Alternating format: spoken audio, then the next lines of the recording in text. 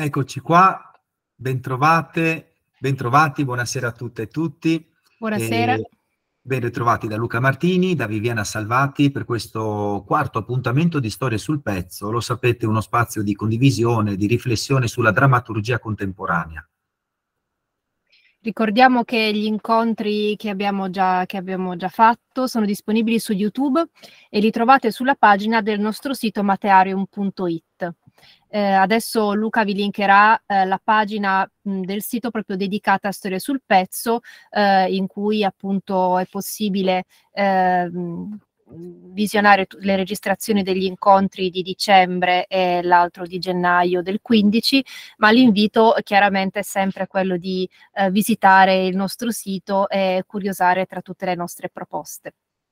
Ci presentiamo. Per, per, chi non ci conosce, Matearium è un laboratorio permanente di scrittura che si dedica eh, principalmente alla formazione di nuove autrici e nuovi autori di teatro. Eh, perché abbiamo così scelto di, eh, di, creare storie sul pezzo. L'obiettivo è quello di creare uno spazio innanzitutto di condivisione per parlare di testi teatrali contemporanei eh, che in particolare affrontano ehm, i temi caldi del presente. Eh, negli appuntamenti di dicembre abbiamo affrontato alcuni testi teatrali che riguardavano il tema dell'identità e del ruolo di genere, mentre eh, il tema degli appuntamenti di gennaio è la decolonizzazione delle storie. Eh, l'appuntamento di due settimane fa ci ha regalato tanti spunti interessanti e che questa sera abbiamo tanto desiderio di approfondire con Giulia Tollis, eh, direttrice artistica di Matearium, che eh, ci regalerà parte della sua ricerca bibliografica finalizzata alla scrittura originale di, di un testo teatrale. Ciao Giulia e grazie di essere qui con noi questa sera.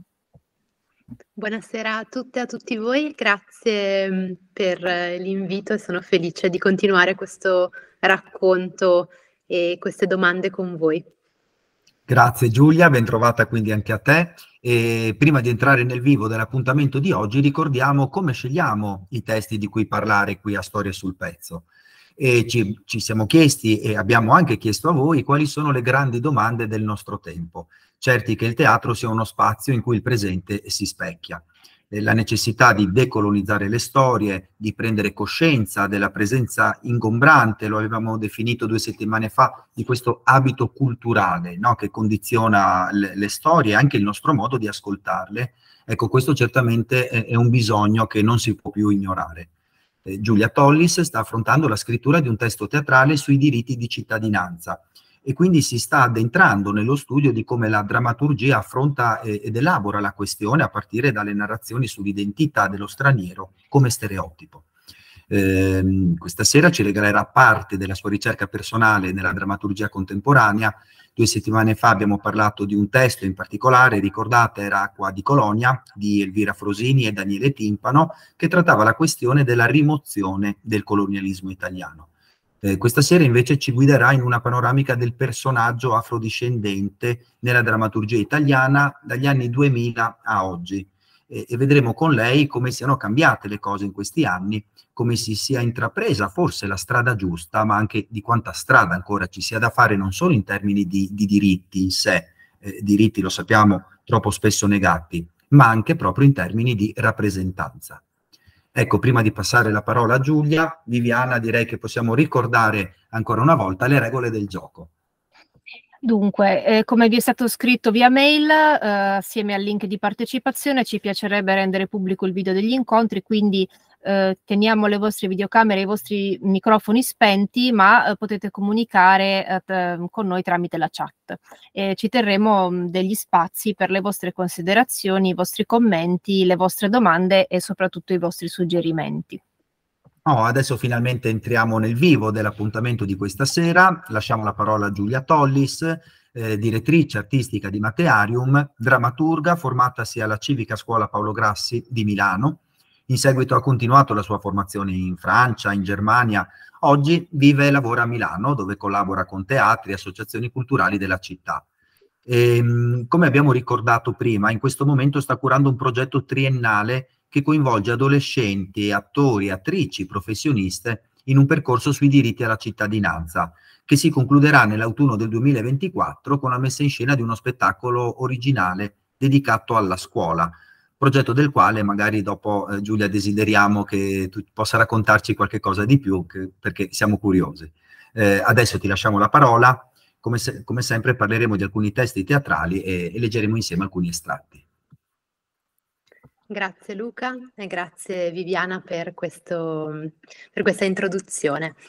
Allora, mhmm, la prima cosa che tengo a dire per chi non era presente, mhmm, al primo appuntamento è che, mhmm, quello che porto qui a queste serate di storia sul pezzo è, uhm, un una parte di ricerca, ovvero, dei titoli, una bibliografia che mi stanno accompagnando in in questi anni, ehm, proprio per leggere chi prima di me ha affrontato delle questioni che riguardano, ehm, che riguardano eh, le storie da decolonizzare e che riguardano la rappresentazione anche di personaggi eh, che non sono personaggi mh, eh, italiani, che sono per personaggi eh, con un background eh, migratorio. E, ehm, mh, la settimana scorsa, come diceva Luca, abbiamo attraversato mh, il testo di Frosini Timpano e siamo entrati in un uh, mondo legato alle narrazioni ehm, che sono state fatte intorno al colonialismo italiano.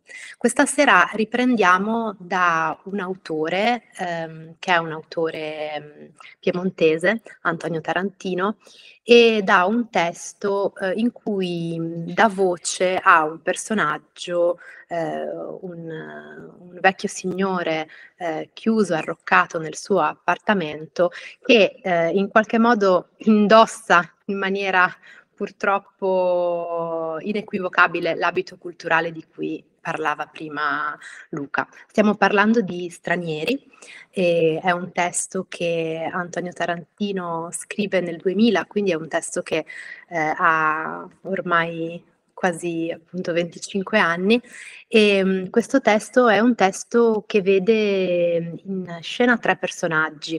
È un, uh, un testo diviso in dieci scene. I tre personaggi sono un, uh, un, uomo molto anziano, senza nome, che si aggira in un alloggio senza darsi pace, e sua moglie e suo figlio che invece si trovano il pianerottolo e cercano di... Mh, eh, in qualche modo mh, captare, ascoltare, sentire eh, se il, il, padre, il marito in casa eh, è ancora vivo.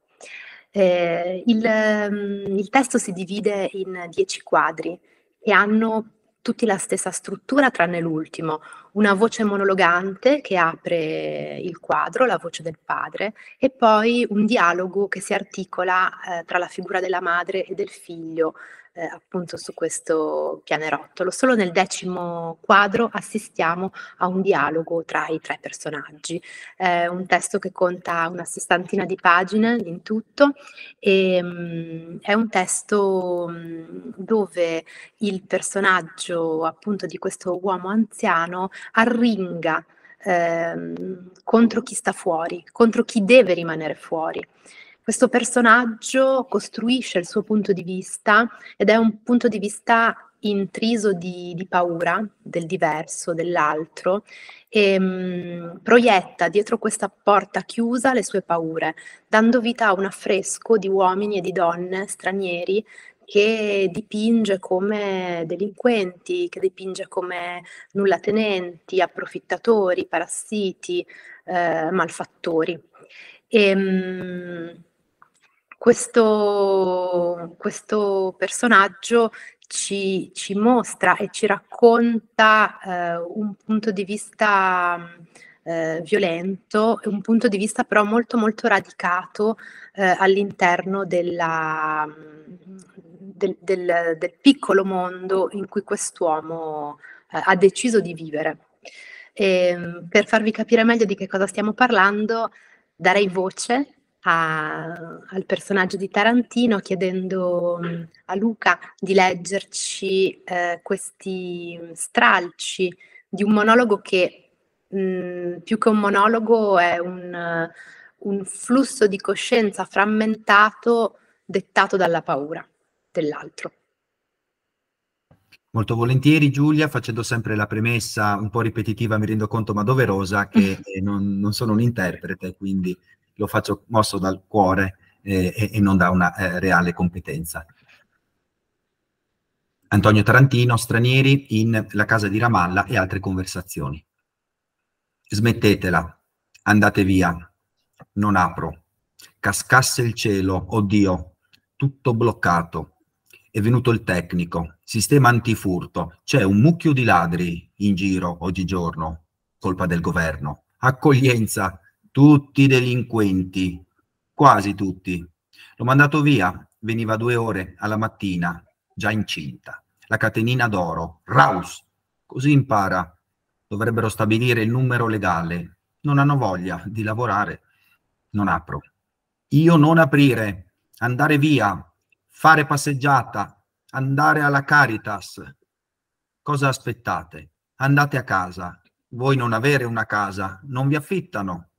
Basta che non venite su, tutti assieme, venite pochi alla volta e non piazzatevi fuori dalla mia porta. È inutile che aspettate, non c'è niente da rubare, non c'è niente da portare via, non c'è niente da spedire in Africa. Grazie Luca per la lettura. Perché ho scelto di partire da questo testo? Perché ho scelto di partire dal punto di vista mh, eh, più mh, lontano e più, mh, eh, sì, più lontano da, da, dall'idea che io, che io ho no? di, di, di, poter scrivere di un personaggio eh, oggi con un background migratorio, ma mi interessa questo, questo, mh, questa figura a cui dà voce Tarantino perché racconta ehm, di un, un'umanità impaurita, incapace di entrare in relazione, in rapporto, nell'incontro con l'altro. E quindi in questa incapacità ehm, mette in campo una, generali- una generalizzazione e crea eh, un, un grande muro appunto con le parole che tiene distante, che tiene fuori tutto quello che non riconosce e che non gli assomiglia.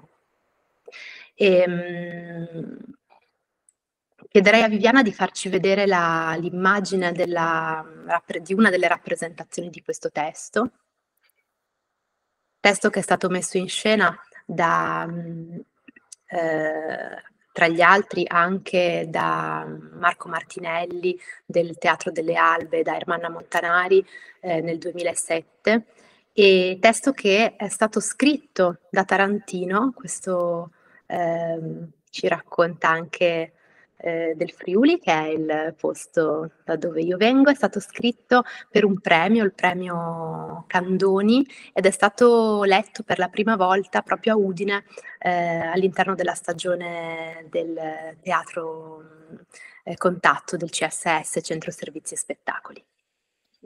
Questa immagine in particolare è, ehm, uh, è, insomma, è la, la, ripresa, la, foto di scena di, mh, uh, di, Stranieri con la regia di Gianluca Merolli e mh, l'attore in scena è Francesco Biscione. È molto interessante secondo me la scenografia, c'è questo cubo, insomma dalla foto forse non si vede bene comunque che ha uh, queste due pareti inesistenti, quindi eh, un cubo in cui si vede all'interno, è una scenografia di Paola Castrignano ed è eh, rivestito questa, questa superficie riflettente dorata che vedete eh, si tratta di coperte termiche che quindi rip- ci riportano alla memoria no, delle, quest- dei, delle, delle, immagini uh, di, di, spesso no, di questi di quando uh, i, i profughi vengono accolti no, dalla, da, dai barconi e vengono riscaldati con queste coperte termiche, quindi è un che appunto viene ripresa eh, questa, a rivestire la, eh, la, casa di quest'uomo arroccato. Eh, nella sua abitazione. Tra l'altro, Giulia, parlavi della scelta di questo estratto in particolare perché ehm, porta un pensiero molto lontano, no? fa parlare un personaggio che porta un pensiero molto lontano da quello che invece è il tuo sentire. Mi ha colpito questa parola lontano, perché questi pensieri così lontani spesso da quello che è il nostro sentire vivono in persone invece a noi a volte molto vicine, talvolta anche insospettabili per tipo di rapporto che, possono, che può esserci e questa dicotomia tra vicino e lontano mi ha, mi ha colpito. E visto che stiamo comunque parlando di storie sul pezzo e quindi di storie che si, che si relazionano con il, con il presente, eh, le notizie anche delle ultime settimane che abbiamo potuto sentire rispetto a ehm, dei progetti o delle strategie di rimigrazione. Quindi con questa idea di ehm, riportare nel continente africano persone eh, che sono arrivate eh, da lì o anche persone che sono nate e cresciute in Europa ma che hanno un background eh, migratorio, eh, purtroppo in effetti fa parte della, dei fatti del presente. Quindi questo testo, che è un testo appunto scritto nel 2000, in realtà fa da voce a un personaggio che mh, mm, continua ad avere ancora spesso mh, mm, troppa voce. A questo proposito mi collego Giulia per ehm, così eh, suggerirvi la, la, la, la, visione. Adesso vi mando eh, nel, nella chat un link a una breve intervista a Marco Martinelli, come aveva citato Giulia, appunto, straniero è stato messo in scena dal Teatro delle Albe, e Marco Martinelli, appunto, il regista del, dello spettacolo, eh, in cui ehm, Marco Martinelli, appunto, eh, parlando di questo personaggio eh, chiuso nel, nel, nel, nel, suo appartamento, eh, parla del, de, del fascismo come, come, di una condizione, come di una condizione personale, quindi un fascismo non inteso come dittatura, ma come qualcosa di, di interno, di, eh, che, che, fa parte del, del, della nostra storia eh, in maniera molto, molto pesante. E, ehm, mh, e, quello che dice Marco Martinelli è sostanzialmente che il fascismo è proprio questa assenza di relazione con l'altro e, ehm, mh, e quindi il, il, chiudersi, no? il, lo, il uh, sentire sempre il bisogno di, di tenere questa distanza uh, dall'altro uh, è proprio una una manifestazione del, del, di, di, di un vivere una condizione di essere fascista, insomma. Io personalmente mi ritrovo molto in questa definizione di fascismo che fa Martinelli perché taglia un po' la testa al toro eh, a chi vuole relegare il fascismo come un fenomeno episodico del passato, no? storico, liquidandolo troppo facilmente e velocemente, sì. eh, quando invece si tratta di dinamiche che ahimè, sono molto presenti nella società di oggi e come ci ricordava Giulia, basta buttare un occhio all'attualità. Assolutamente. Mi colpisce l'immagine che Viviana ha scelto di questo allestimento e anche la, la, l'idea della regia e della scenografia di ehm, eh, costruire i muri di questa casa con un materiale così effimero e leggero come quello delle coperte termiche che servono a, ad accogliere le persone che arrivano sulle nostre coste perché eh, il secondo testo cui voglio, di cui vi voglio parlare, che compone la, la bibliografia di questa sera, eh, è una raccolta di testi, è una trilogia, la trilogia del naufragio di Lina Prosa, che si compone di mh, tre atti unici in cui eh, i protagonisti e le protagoniste sono delle persone migranti che stanno abbandonando il continente africano per eh, compiere un viaggio periglioso e, in alcuni casi letale, attraverso il Mar Mediterraneo per raggiungere eh, l'Europa e quindi la porta dell'Europa, in questo caso l'Italia. Um, il testo di Lina Prosa è un testo che ha una storia composita. Il primo, mm, il primo atto unico di questa trilogia, che si intitola Lampedusa Beach, viene scritto nel 2003 dall'autrice e mh, non viene messo in scena in Italia, ma viene messo in scena per la prima volta a Marsiglia, in Francia. È un testo che viene, mh, in questo caso non viene tradotto, nel senso viene rappresentato in italiano con una sottotitolazione in francese, nell'idea che fosse importante per eh, il Teatro Stabile di Marsiglia, che lo produce, di, ehm, fosse molto importante eh, mantenere la voce dell'autrice, quindi una voce italiana, eh, la voce di un'autrice mm, nata mm, a Palermo, che vive a Palermo, che a Palermo ha il suo teatro e una sua compagnia e eh, che nel tempo si è dedicata molto a delle riscritture dei, dei miti, eh, Pentesilea, Medea, Ecuba, figure femminili archetipiche eh, sono state ehm, la, la base dei suoi, dei suoi, testi. E qui ehm, Lina Prosa invece nel 2003 decide di scrivere eh, con una, una, scrittura che le è propria, che è molto legata al linguaggio della poesia e del mito, un testo che racconti l'epopea di eh, una donna, Shauba, che ehm, abbandona il suo, il suo paese di origine per intraprendere questo viaggio alla ricerca di un futuro migliore. All'interno del testo che si sviluppa sotto forma di monologo, eh, Shauba ci mh, porta all'interno della sua storia, della sua storia familiare e ci porta all'interno del, delle dinamiche di mh, compravendita di questi viaggi, ehm, del, di, di, questi viaggi per, per, cercare fortuna, ci racconta la figura di, di una donna, eh, di una sorta di, di zia, di accompagnatrice che per lei si occupa di comprare mh, il biglietto di questo viaggio e ci racconta tutto quanto il percorso che questa donna fa attraverso il mar Mediterraneo, ehm, fino purtroppo al tragico epilogo che la vede, che la vede morire eh, tra le acque.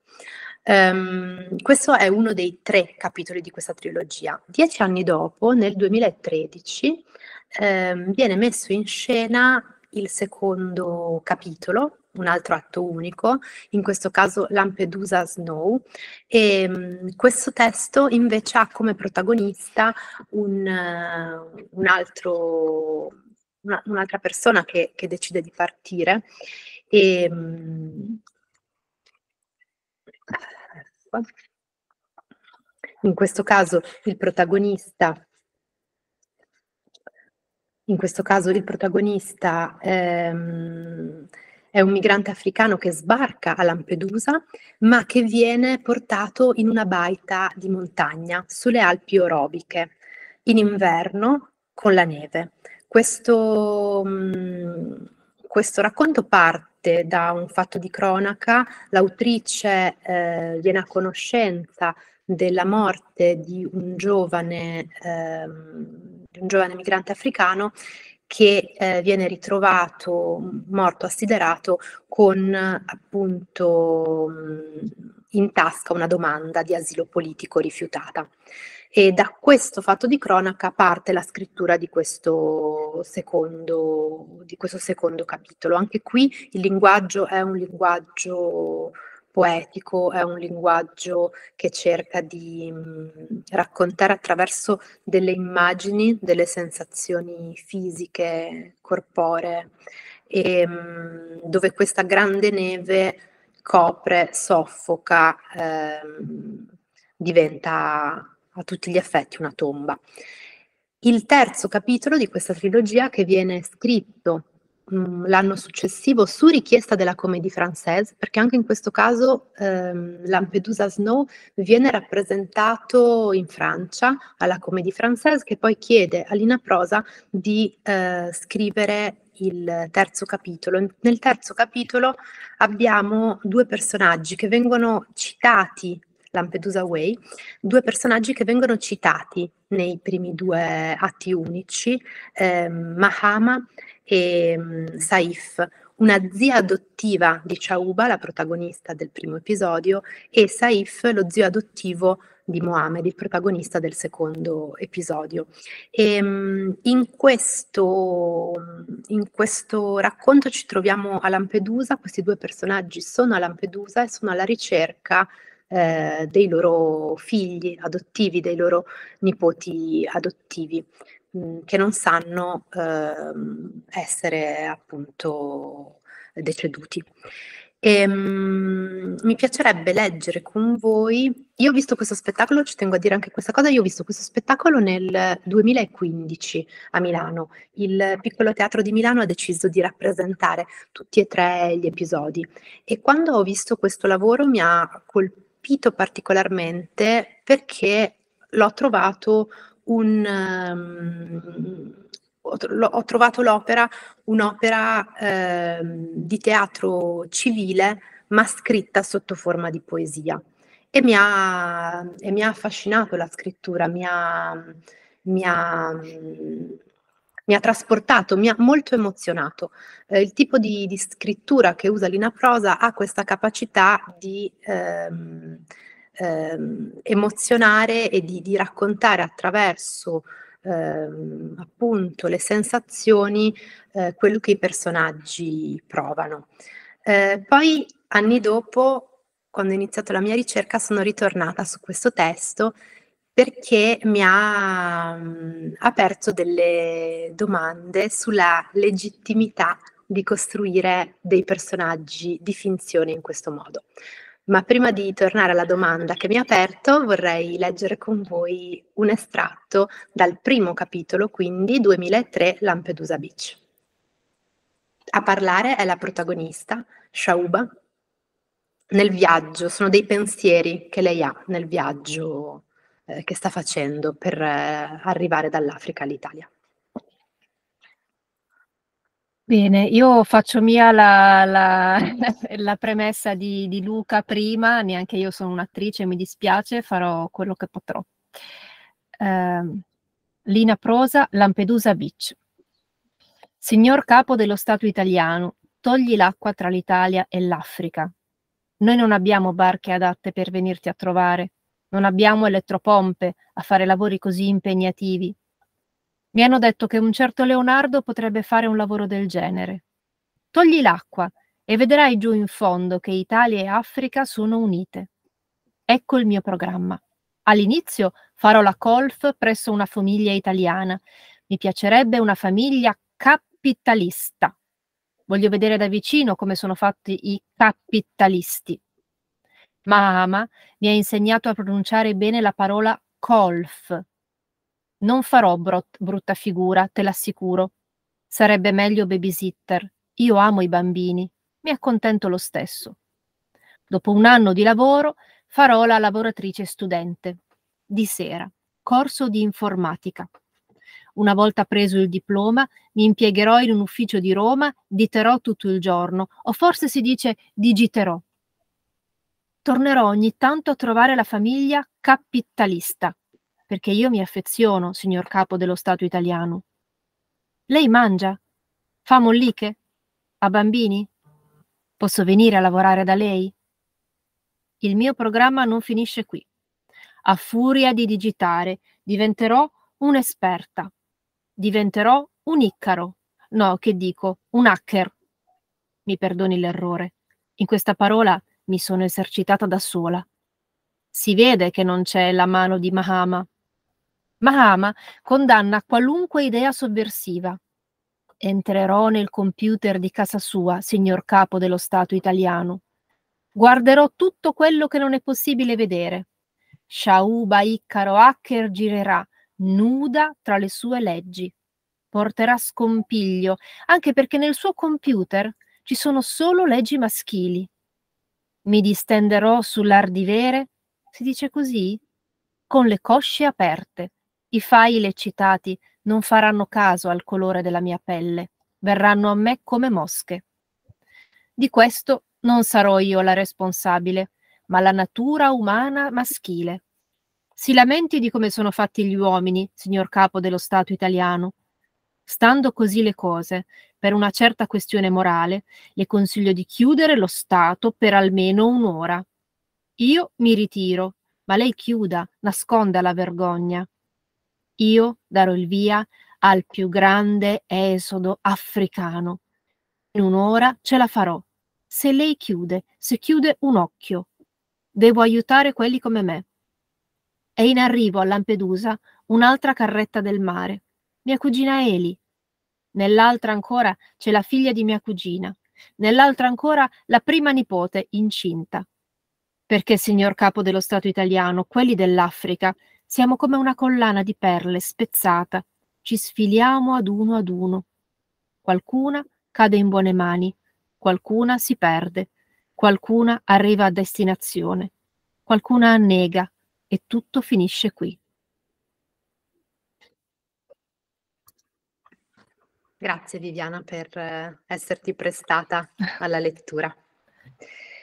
Ehm, dicevo, quando, questo, quando ho visto questo testo rappresentato al Piccolo Teatro di Milano, ho trovato che eh, la forma dell'invenzione linguistica eh, potesse essere una forma che mh, mm, poteva permettere anche a un'autrice appunto palermitana bianca di raccontare eh, una storia vissuta da eh, un, un, altro da sé, da un, da un, corpo altro, da un corpo con una, con una vita e con una, un'esperienza di vita totalmente diversa.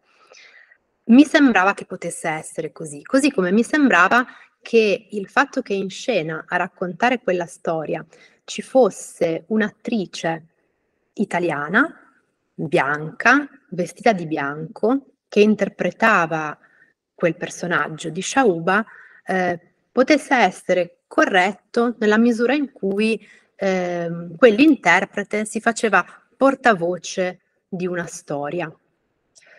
Mm, con il tempo e con, uh, con l'osservazione del mondo, della realtà intorno a me e anche con il desiderio di appunto iniziare a scrivere di questo progetto che abbiamo nominato prima, legato ai diritti di cittadinanza, eh, sono ritornata a quella sera a teatro e mh, mm, mi sono resa conto che quell'operazione, con gli occhi che ho oggi, era un'operazione sbagliata dal mio punto di vista, un'operazione fatta sicuramente in buona fede, sicuramente con le migliori intenzioni, ma dove ehm, a raccontare quella storia c'era un, un, un corpo e, e, e, un, e, un, interprete ehm, che in qualche modo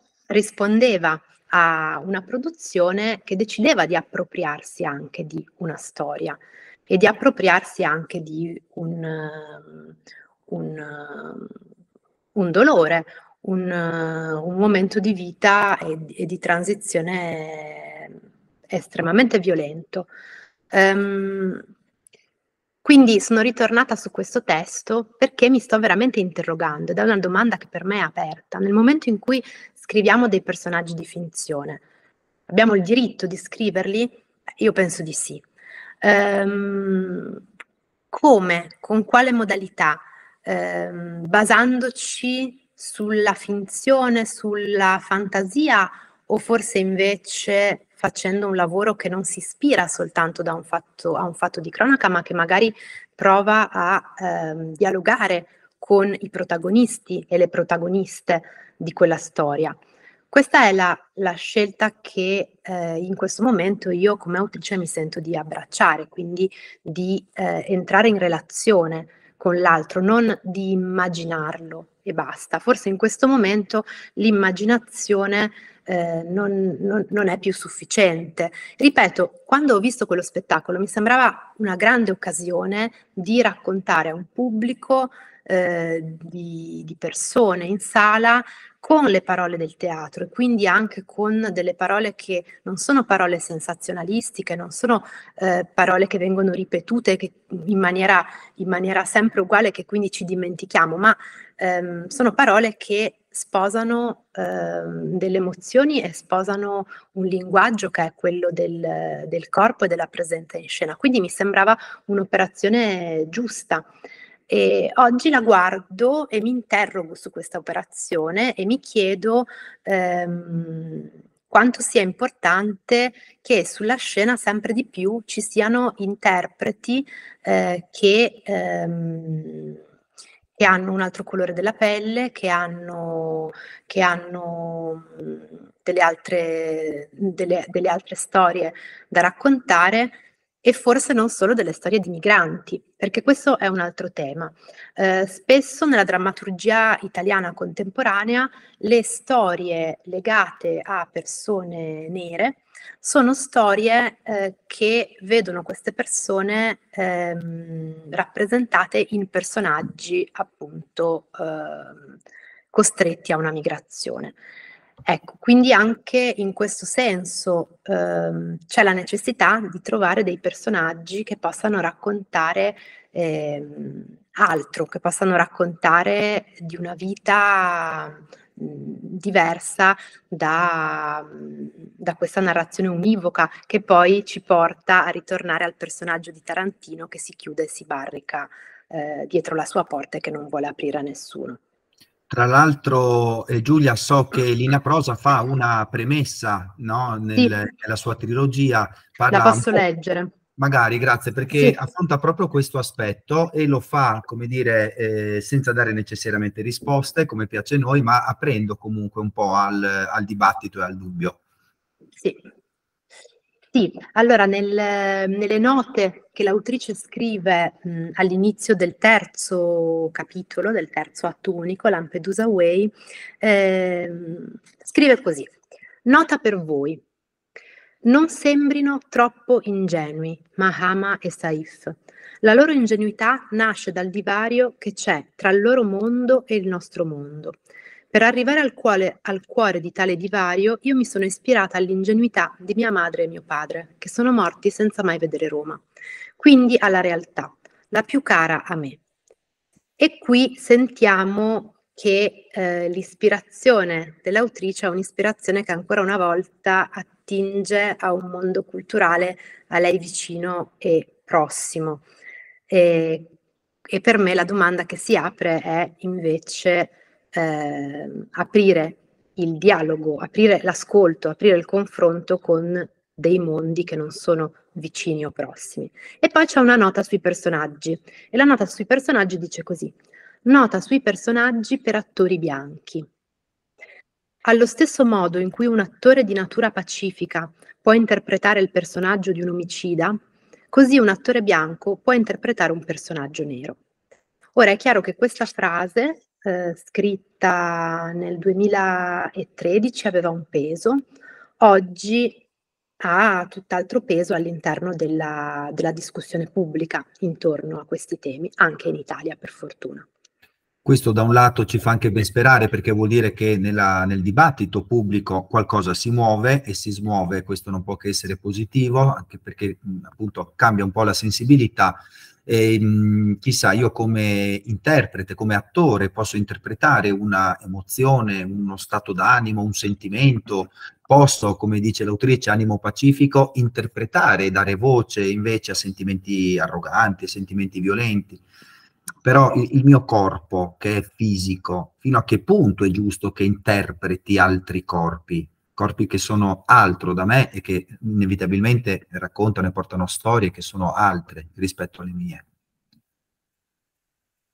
A proposito di questa considerazione, quello che noto e sto notando soprattutto a Milano nella produzione culturale di spettacoli a Milano è che sempre di più ehm, sulle scene ci sono persone con eh, background migratorio che eh, interpretano e danno voce a dei personaggi.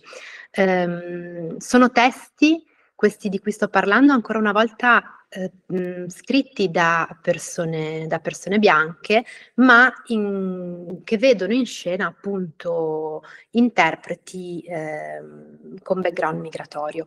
E eh, non sono testi ancora pubblicati, ma ci tengo a, a nominarne tre che dovrebbero uscire in una collana, perché l'anno scorso c'è stata un'esperienza eh, interessante, in realtà un'esperienza che è durata diversi anni, eh, che ha portato alla realizzazione di uno spettacolo, in questo caso diviso ancora una volta in tre atti unici. Questa forma dell'atto unico sta tornando molto questa sera, no? E quindi forse l'atto unico che ha una forma breve perché in 30 pagine senza cambiare eh, luogo o tempo, eh, ci concentriamo sui, sulle dinamiche di relazione tra i personaggi e sulle identità dei personaggi, lo nomino perché mi sembra interessante. Ecco, dicevo, questi, questi tre atti unici sono stati presentati all'interno di uno spettacolo dal titolo Colore X, eh, mh, realizzato da una compagnia milanese che si chiama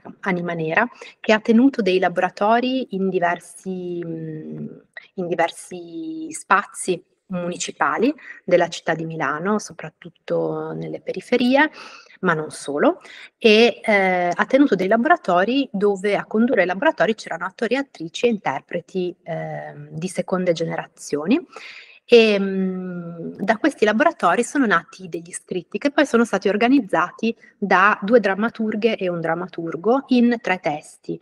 Eh, La panchina di Davide Carnevali, eh, L'uomo con gli occhiali di Greta Cappelletti e eh, Mani blu di eh, Magdalena Barile.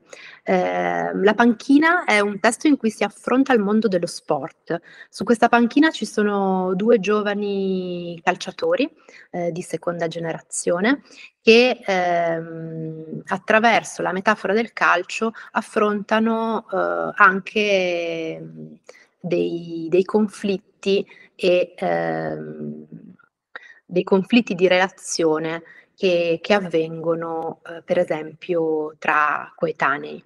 E anche in questo caso il testo La panchina eh, risuona eh, in, queste, in queste ultime settimane in cui abbiamo comunque assistito e visto anche lo stadio purtroppo come un luogo ancora dove il razzismo è presente e, ehm, e si fa sentire, ma viene anche, contra- viene anche contestato e contrastato.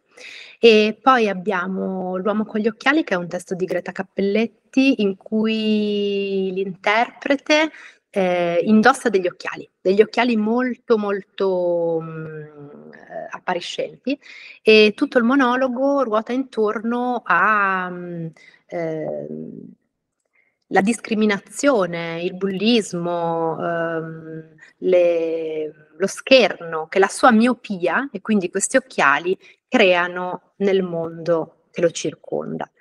Eh, a indossare questi occhiali naturalmente c'è mm, una, un, attore, un, attore, nero e quindi questa metafora dell'occhiale eh, diventa anche metafora del corpo che la indossa. Il terzo testo, Mani Blu, è un testo invece in cui una madre e un figlio si eh, confrontano e confliggono intorno ai valori di due generazioni diverse che, che, oltre ad avere appunto una distanza anagrafica hanno anche una, una distanza rispetto all'identità eh, con il paese di, di origine. E, um, Viviana vi ha copiato in, in, chat il link a un articolo di a teatro molto interessante che racconta l'esperienza di Anima Nera, quindi nell'attesa della pubblicazione di questi testi intanto possiamo leggere possiamo leggere eh, l'articolo e trovare anche i nomi degli interpreti e delle, e delle interpreti. E, um, In scena, ci tengo a, a dirlo, ci sono Martin eh, Shishimba, Yudel Colaso e Calawa Rodriguez, che interpretano eh, tutti i personaggi di questi differenti quadri, quindi si ritrovano in scena cambiando di volta in volta ehm, personaggio a seconda dell'atto unico che inizia e che si svolge sulla scena. E, ehm, quindi fino a qui abbiamo visto una bibliografia che vede delle penne degli autori e delle autrici che scrivono, eh, che scrivono di personaggi con eh, dei background eh, migratori o dei personaggi ehm, razzializzati ma ci sono anche delle esperienze di autori e autrici di seconde generazioni che iniziano a eh, scrivere. Non sono ancora pubblicati per quanto Fabula Mundi eh, stia raccogliendo questi testi e lanciando delle call per scritture per le seconde generazioni. Fabula Mundi è un'organizzazione che si occupa di drammaturgia contemporanea a livello nazionale e internazionale e ha proprio un progetto legato alla drammaturgia e alle seconde generazioni, eh, ma si affacciano non tanto sulle scene dei teatri quanto, quanto sulle ribalte dei locali perché il genere che in questo momento sta ehm, parlando di più il linguaggio di attori e attrici di seconde generazioni che decidono anche di scrivere è quello della stand-up comedy. E ci sono tanti nomi di autori e di autrici. Questa sera io mi sono concentrata su un autore che ho, un autore attore che ho potuto incontrare dal vivo quest'estate eh, ad un festival organizzato da Milano Mediterranea.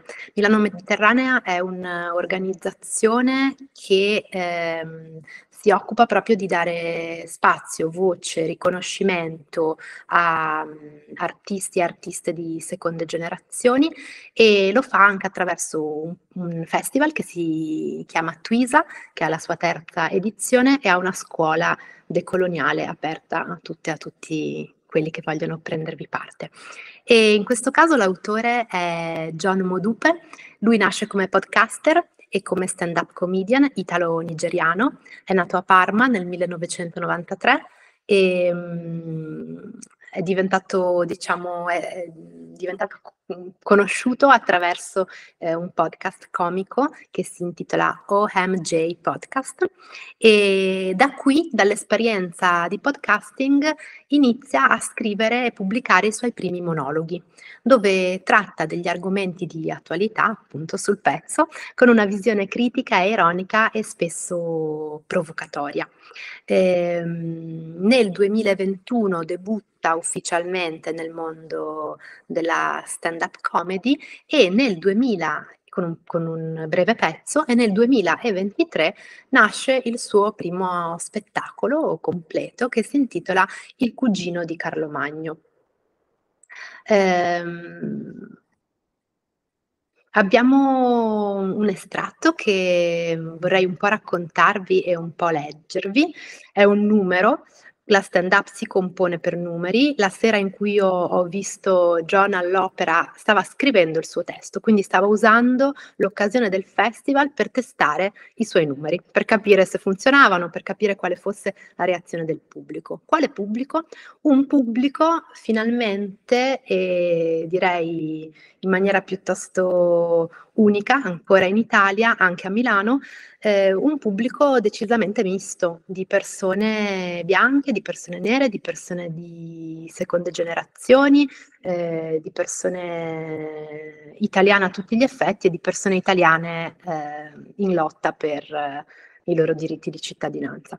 E davanti a questo pubblico ha capito quali potevano essere i numeri che funzionavano e quali i numeri che non funzionavano. Tra questi numeri ce n'è uno che è quello che voglio condividere con voi, e um, ha a che fare con, eh, un, anche qui, con uh, una figura eh, ste- stereotipata eh, di, stra- di, straniero che è quella del Vucumpra. Chiedo a Luca di condividere con noi il testo. Allora, il testo io non lo leggerò se non per ehm, condurvi a notare alcune cose che trovo interessanti nel rapporto con la scrittura e con il pubblico, perché eh, quello che faremo è condividere con voi il link al eh, video eh, dove potete vedere John eh, interpretare questo pezzo. Dal punto di vista mh, mm, formale, l'intero spettacolo è costruito sulla forma del monologo, monologo che eh, vede la prima persona, quindi John, eh, lui, il performer, che si eh, interfaccia con eh, il pubblico.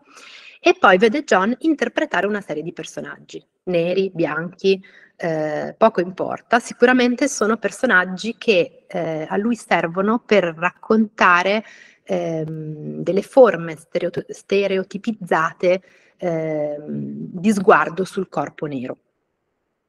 In questo frammento lui parla di un episodio, la tipica gita delle medie. Come abbiamo visto è nato in Italia nel 1993, eh, ce lo immaginiamo in vacanza, in gita con la scuola, con i suoi compagni di classe. Quando eh, in questa gita a un certo punto viene visto e approcciato da un Vukumpra, il quale gli si rivolge eh, appellandolo fratello e iniziando a cercare con lui una, una, un'intimità, una confidenza. E questa intimità e questa confidenza che lo straniero porta su, su John lo destabilizza.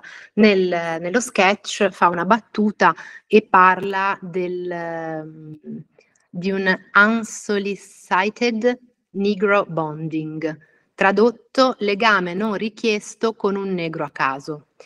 E, ehm, questo perché? Perché nel pezzo lui ci, ci racconta eh, che per molti anni, nonostante fosse il, la sola persona nera appunto nella stanza, nella scuola, lui si è sentito bianco, tanto quanto gli altri. E nel momento in cui una persona nera eh, lo, lo riconosce, tra virgolette, all'interno di una comunità come suo fratello, lui a quel punto si sente estremamente in difficoltà davanti ai suoi compagni di classe. Immaginate dei dodicenni, dei tredicenni e quanto possono essere crudeli dei dodici e dei tredicenni eh, con, i, con, i, propri compagni e con le proprie compagne. E infatti ecco che questi dodicenni, tredicenni che lui interpreta si scagliano su di lui eh, dicendogli appunto, iniziando a prenderlo in giro, dicendogli che eh, ma quello chi è? Eh, tuo padre che ti conosce? Ah, forse è papà, forse è papà, forse è papà. Eh, ti ha anche chiamato per nome, che strano che sappia il tuo nome, perché ti chiama fratello? Quindi appunto queste voci del fuori che minano, che minano in, maniera, in maniera forte la, la, l'identità.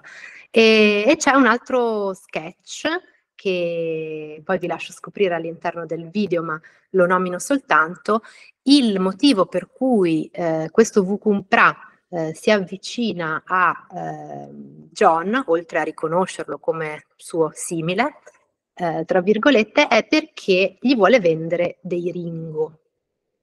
E qui eh, John apre tutto uno sketch sulla pubblicità degli anni 90 della Ringo People, che forse eh, molti di noi e molti di voi ricordano, in cui appunto due mani si incontrano, si battono il 5 in segno di unità, una mano, una mano nera e una mano bianca. Ecco, solo che eh, questa mano nera, dal racconto che, che fa John qui, eh, è anche la mano di chi poi si sente visto e riconosciuto come un biscotto al cioccolato piuttosto che come una persona quale, qual è. Questo estratto vi consiglio veramente di, di, guardarlo e condivideremo con voi nella bibliografia altri nomi di autrici e autori di seconda generazione che stanno scrivendo e che stanno eh, portando i loro pezzi sulla, sulla, scena. Una tra tutte che vorrei citare è Yoko Yamada, eh, trentenne bresciano-nipponica che gioca a mm, raccontare e smontare gli stereotipi che riguardano la, le sue due culture. Ecco, noi ci eravamo posti no, il, il, dubbio, questo video tratto da YouTube, no, di questo momento di stand-up comedy di John Modupe, lo, lo riusciamo a inserire all'interno dei nostri incontri? Com- come facciamo per condividerlo? Beh, abbiamo messo il link, vi invitiamo davvero caldamente al termine di questo incontro, magari copiatevelo già eh, con gli strumenti informatici, di andare a vederlo, anche perché, come ci suggeriva Giulia, molto interessante non solo la resa, chiaramente, no, da, proprio da stand-up comedy del, del, dell'autore interprete, ma anche la reazione del pubblico, un pubblico misto, che chissà se reagisce allo stesso modo e con la stessa sensibilità poi alle battute no, e alle dinamiche messe sul, sul palco. E, beh, niente, Giulia, noi ti ringraziamo tanto per, que- per, questa condivisione, la condivisione di queste riflessioni. Arrivati a questo momento, rispettiamo quella che ormai è una tradizione consolidata, eh, vero Viviana? Sì, volevamo appunto presentarvi mh, i, i, corsi, i, corsi, attivi di Matearium. Ecco, adesso condivido, eh, condivido la slide così ve li mostro. Nel frattempo eh, racconto, racconto, un po' di che si tratta. E dunque, ehm, eh, il, il, primo corso è Scrivi con metodo e eh, appunto mh, mm, insomma sta, sta, sta, è alle porte perché appunto eh, inizia proprio l'8, l'8 di febbraio e eh, si tratta di un, di un, percorso di affiancamento alla scrittura, ehm, di, un, di, un, testo teatrale, di una scrittura originale propria, quindi si presenta, si partecipa con un proprio progetto personale e eh, all'interno del, del, percorso Scrivi con metodo in una classe, quindi è un, è un lavoro collettivo, eh, step by step, eh, si, ehm, ogni, ognuno appunto eh, cresce. Mh, mm, ehm, lavora, lavora il proprio testo attraverso appunto la guida ehm, di eh, Alessandro Di Paoli e Stefania, e Stefania Orsella. Eh, il, secondo, eh, il, secondo, appuntamento è un po' più in là, ma ci teniamo eh, a parlarne già adesso perché eh, si tratta di una residenza drammaturgica ehm, che si terrà a luglio presso il bellissimo Mulino Nicli ehm, nella località Rive d'Arcano in provincia di Udine, ma visto che comunque si tratta di eh, una, residen- una, residenza di cinque giorni, ecco, magari eh, si può già iniziare a, ehm, a, fare dei progetti per l'estate già da adesso. Quindi un, um, si tratta di una residenza un totale di 20 ore di laboratorio di scrittura, è aperto ad otto drammaturghe e drammaturghi e, um, e quindi una vacanza um, totalmente eh, dedicata alla scrittura e anche qui si partecipa con un proprio progetto eh, a livello, insomma, che sia a livello ancora embrionale, ma adesso non, non, non, tolgo altro tempo al, al, nostro appuntamento, ma vi invito a leggere la presentazione sul, um, sulla pagina dedicata al sito, eh, in cui appunto è spiegato eh, tutto, lo, tutto um, le, le, le, appunto, le, le regole per la per la partecipazione eh, e, e, l'organizzazione della residenza. E, ehm, e il, tra l'altro, sì.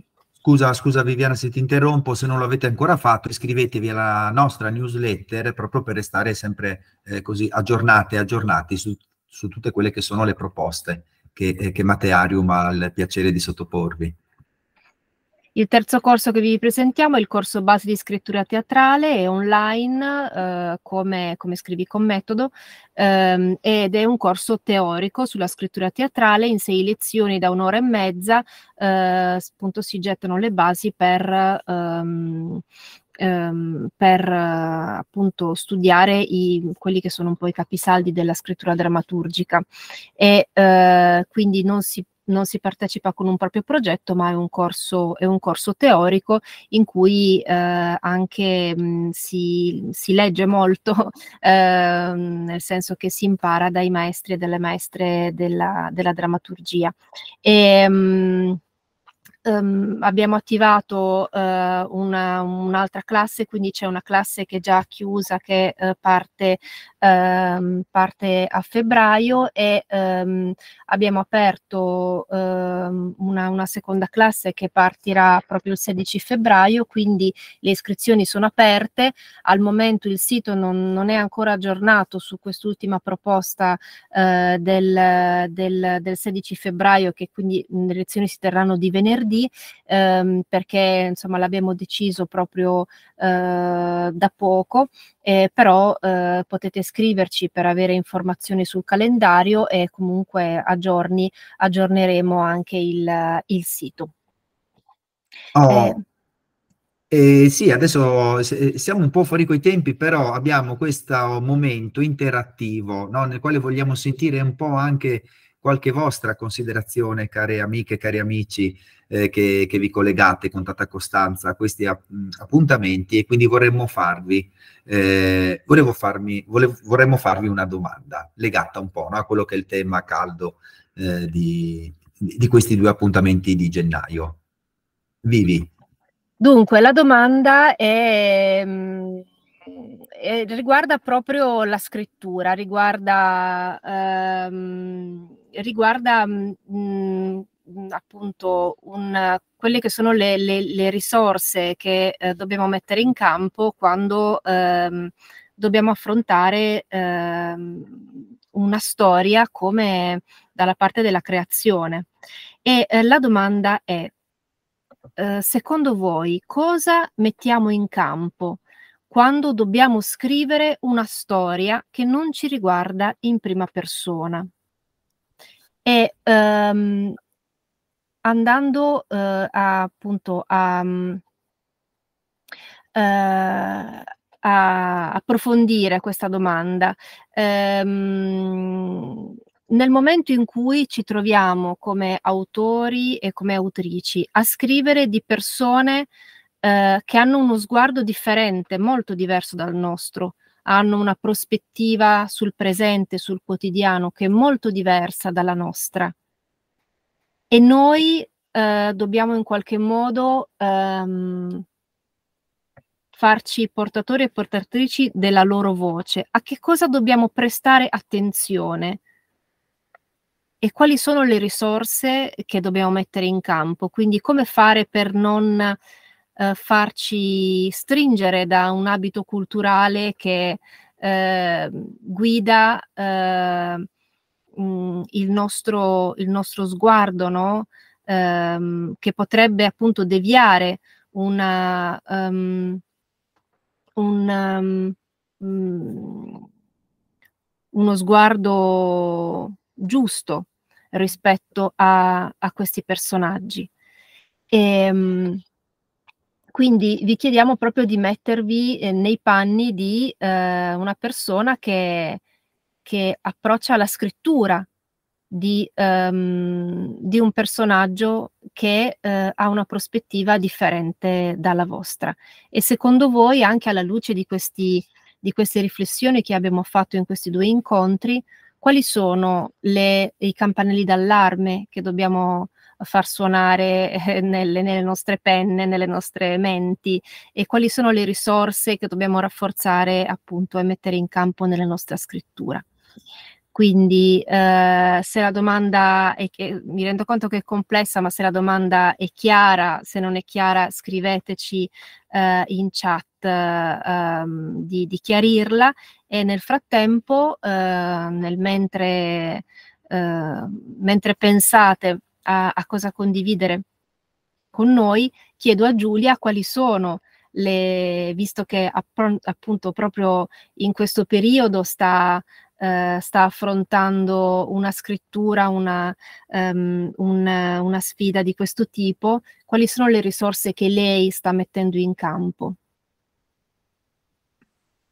Sì, eh, grazie. Allora, mh, In questo caso io sto scrivendo un personaggio protagonista che è una ragazza adolescente eh, di seconda generazione, ehm, quindi che per età, per ehm, background, per esperienza di vita e per eh, diritti è molto lontana da quello che sono io.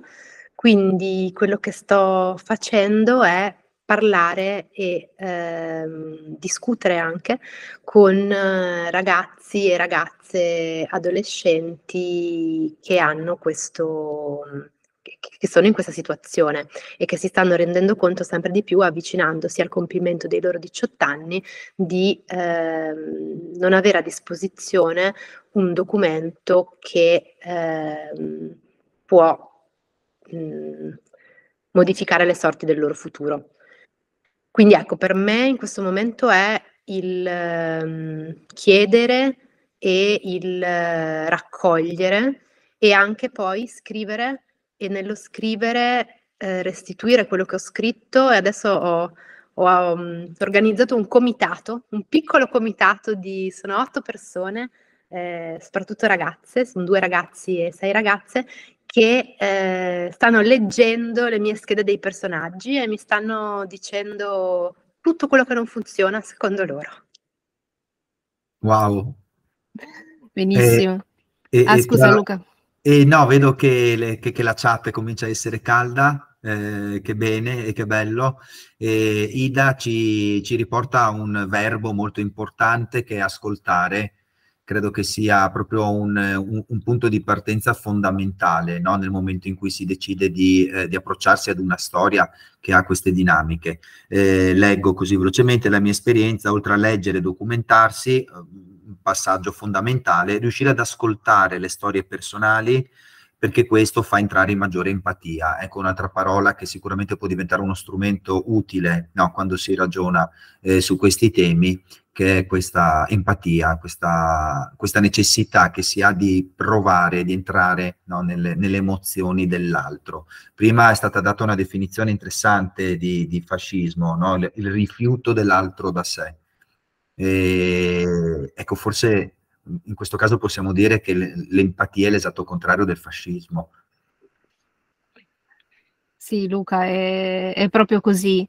E, ehm, e quello che scrive Ida eh, mi sembra molto simile a, a, quello che dice anche Giulia, cioè andare proprio a incontrare le persone, quindi sì, leggere e documentarsi, che è eh, certamente fondamentale, ma anche mm, eh, diciamo ascoltare le storie personali, perché la storia personale è qualcosa che ci restituisce un vissuto nel momento in cui avviene, un presente, eh, qualcosa che magari appunto nella notizia, nella, nella, mm, nel, nel, nel, documento pubblico magari ancora non, non è arrivato no? ad, ad, ad, una definizione fissa, ecco, quindi stare, stare un ascolto che sia attivo.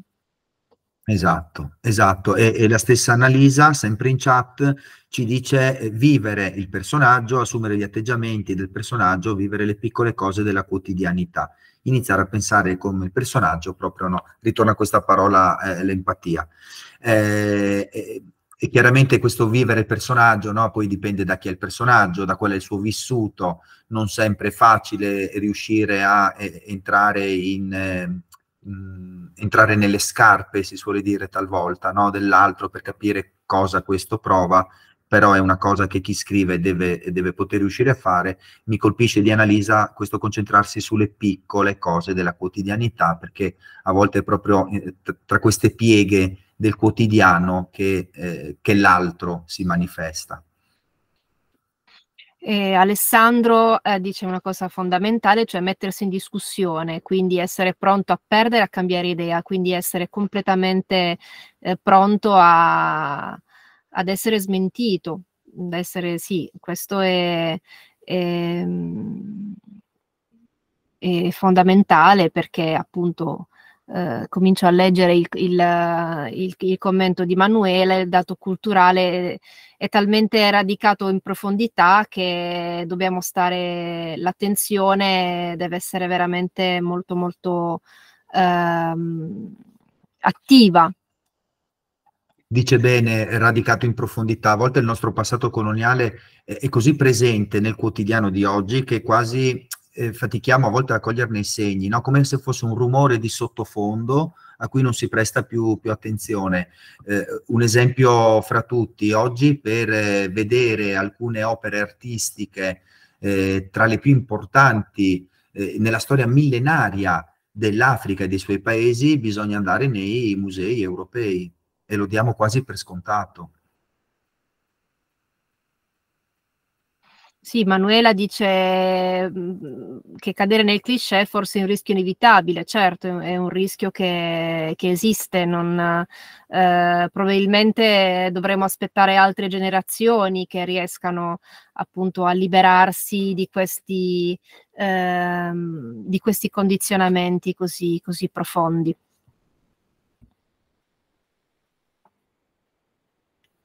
E poi Chiara ci dice, no, ci parla dei, dei, privilegi di cui godiamo rispetto alla persona, chiedermi e chiedere in che modo la persona vive esperienze di discriminazioni, chiedere feedback alla persona che sta rappresentando, eh, alle persone con esperienze simili. Eh, non assumere un atteggiamento paternalista, tra l'altro eh, condivido, Chiara, e tra l'altro eh, Giulia la, due settimane fa condivise con noi un pensiero che mi è rimasto, su cui ho, ho, ragionato in queste giornate, che era quello del senso di colpa. Attenzione, un senso di colpa che non diventi castrante, che non diventi una gabbia che ci impedisce di, di aprirci anche con ottimismo e positività al futuro. Io volevo riprendere dalla chat quello che dice eh, Manuela rispetto a ehm, il fatto che pensare appunto che un attore con la pelle nera possa raccontare esclusivamente storie di migrazione è un fatto culturale nostro certo. e assolutamente, hai assolutamente ragione, quindi appunto sarebbe anche interessante capire come a un certo non so, una discussione che ho avuto con, con il gruppo è stata anche quella di eh, di un'osservazione che diceva mm, quanto continuare a vedere le differenze invece di vedere i punti di contatto e quanto la differenza ci continua a far pensare a un nostro loro, a un mondo culturale, a un altro mondo culturale. Quindi sì, cioè in effetti se penso a altri spettacoli visti in teatri ehm, a Londra o in Canada o in Francia meno perché c'è un discorso sul physique du rôle molto, molto ancora forte secondo me, però dove non importa il colore della pelle, non importa la provenienza, non importa il background, eh, c'è un personaggio che viene interpretato, punto, sì. E l'altra cosa che mi interessava era nell'intervento di Anna, quando Anna scrive Ehm, d'altra parte, forse fa parte del gioco che non tutti gli autori e autrici possano raccontare tutte le storie. Questo mi sembra anche un bello spunto. Quali storie possiamo raccontare? E... Certo, l'autore e l'autrice non è onnisciente, non è onnipotente e quindi eh, è importante fare i conti con tutti quelli che sono i nostri eh, i condizionamenti culturali di cui, da cui siamo guidati, da cui magari non, non siamo totalmente in grado di, di affrancarci. Esatto, infatti Ida anche riporta e dice, ri, facendo sempre riferimento, rispondendo a Manuela, dice condivido quanto scritto, forse dovremmo considerare di scrivere storie di persone normali e uguali indipendentemente dal colore della pelle. Yeah. Federica fa una sorta, ci, ci, suggerisce, propone una sorta di iter quasi no? nella costruzione. Mm. Si parte da un processo immaginifico, proprio perché ci rivolgiamo a un personaggio che è altro da noi, ricorriamo prima all'immagine che abbiamo dell'altro. Si, eh, se ne parlava anche due settimane fa, l'immaginazione è uno strumento fondamentale per chi crea, eh, deve diventare uno strumento che aggiunge, non deve diventare uno strumento che vela, che nasconde no? una realtà eh, che, che, è giusto e che merita di essere portato in scena. Wow, che belle, che belle considerazioni, che belle riflessioni. Sì, vi, vi, molto vi profonde. Sì, anche perché noi, eh, eh, consapevoli un po' della complessità della domanda, avevamo paura che eh, così che questa volta la chat potesse essere più timida e invece no, siete, no. siete confermate e confermati attentissime e attentissimi eh, fruitori di questo spazio, di questo momento e, e, di questo comunque ci sentiamo di dirvi grazie perché eh, diventa anche molto gratificante eh, per tutti noi. Quindi, e... sì, no, Prima, eh, prima, di, di salutarci, una, una, mm, una, piccola cosa, assolutamente secondo me doverosa, una richiesta a Giulia di eh, raccontarci quando potremo vedere il suo spettacolo, eh, quando potremo leggere il suo testo, darci qualche informazione su, perché insomma abbiamo seguito, eh, ci hai regalato il tuo processo creativo, la tua ricerca, adesso insomma siamo, siamo curiosi e curiosi di, eh, appunto di vedere questo, questo frutto. Sì, la buona notizia di qualche giorno fa è che lo spettacolo sarà programmato a inizio ottobre eh, all'interno della stagione mh, culturale di Zona K, che è un, uh, uno spazio del teatro contemporaneo di Milano. E mh, quindi a ottobre ci sarà il debutto ufficiale e non, su, sulle stampe non lo so, però forse si potrebbe iniziare a introdurre una pratica eh, un po' più internazionale, per cui la compagnia stampa in maniera, in maniera così informale e autoprodotta eh, una piccola rilegatura del copione in modo che possa essere poi letto. Quindi vi, terre, vi terremo, vi terrò, vi terremo aggiornati sul processo. Grazie. Grazie Fantastico. a voi. Grazie, grazie davvero, grazie Giulia. Dunque, come si diceva, siamo giunti un po' al termine di questi due appuntamenti di gennaio dedicati, come abbiamo visto, alla decolonizzazione delle storie.